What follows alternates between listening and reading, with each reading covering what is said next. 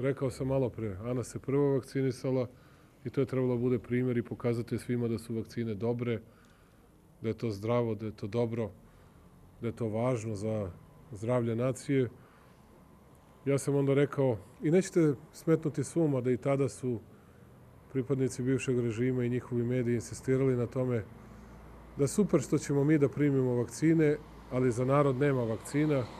da neće biti vakcina za obične ljude i da smo mi sebe zaštitili, a da ljude nismo. Ja sam želeo da sačekam da imamo makar milion revakcinisanih ljudi, milion i po vakcinisanih ljudi, kao što imamo danas, da se onda vakcinišem, da pokažem da osjećam isto što i narod, da mislim isto što i narod i onda kada narod može da se vakciniše, da se tada i ja vakcinišem. A kao što rekao, došao sam u rudnu glavu, eto njima iz inata, zato što volim rudnu glavu, zato što volim istok Srbije, zato što volim ovaj narod ovde